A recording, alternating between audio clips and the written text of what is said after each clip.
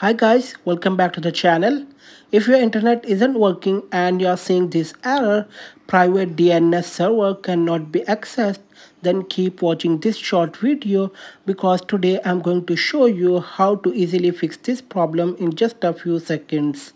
So let's get started without wasting any time. First, open the settings app on your phone. On the settings, tap on network and internet or connection and sharing. Here, select private DNS. Now choose automatic or simply turn it off. Tap on save.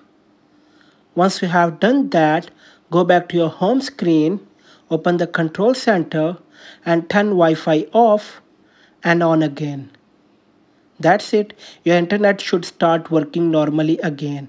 If this video helped you, make sure to like it and subscribe to the channel for more quick tech fixes. Thanks for watching and I'll see you in the next one.